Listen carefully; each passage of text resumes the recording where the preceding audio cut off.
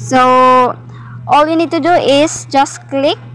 Tapos, makikita natin dito yung mga, yung name, APN, proxy port, username, and password. So, so yung kailangan lang natin ditong i-edit is name, APN, um, username, and password.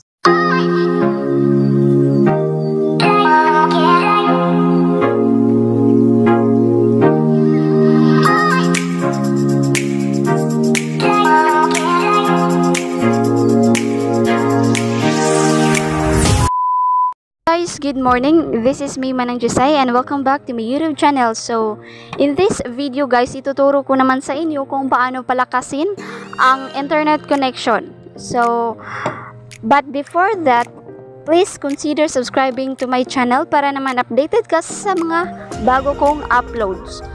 So, dito guys, wala po tayong um, ida-download na apps, settings lamang. So, Okay, simulan na natin. Punta po tayo sa settings. Ayan, so, pagpunta sa settings guys, uh, dito po tayo sa network and internet.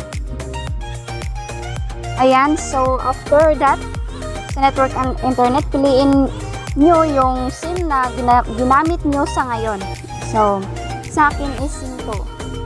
So, just click Ayan po, so makikita natin dito yung access point names.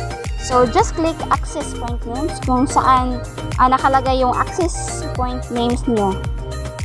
Okay. Wait nyo na. Ayan, dito po. Sa, sa akin, guys, nandito po sa ibaba. So, ayan po. So, dito, guys, sa, sa hindi pa na-edit yung e-stone, uh, My Globe Internet to and My Globe iNet, My Globe MMS. So, dito sa My Globe Internet, inedit ko siya guys. So, all you need to do is just click. Tapos, makikita natin dito yung mga yung name, APN, proxy port, username, and password. So, so yung kailangan lang natin ditong i-edit is name, APN, um, username, and password. So, dito guys, sa uh, name, um, just type is stone. So, as in eagle, apple, S, space, then T-O-N-E. E stone. Alright, so, sa EPN guys, dito, so, just type setnet01.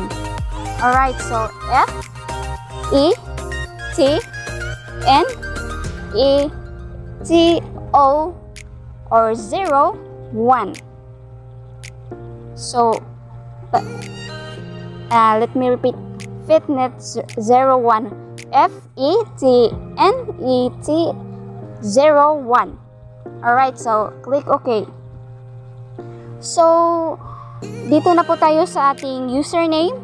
So, just type guest as in G-U-E-S-T. Ayan po. So, sa password naman natin guys, mag-type nyo dyan yung guest. So, i-repeat nyo lang guys. Guest. As in G-U-E-S-T. So, dapat hindi po kayo magkamali sa password nyo. Alright, so, i-click nyo lamang yung okay. So, yun lang guys. Yung uh, dapat nating ma-edit dito sa access point. So, I hope guys nakatulong po ito sa inyo and mapabilis yung internet connection nyo. So that's it for today's video. I hope you learned something this video. Give me a thumbs up. And don't forget to subscribe to my YouTube channel and hit the notification bell button para naman updated ka sa mga latest ko na videos. Thank you so much!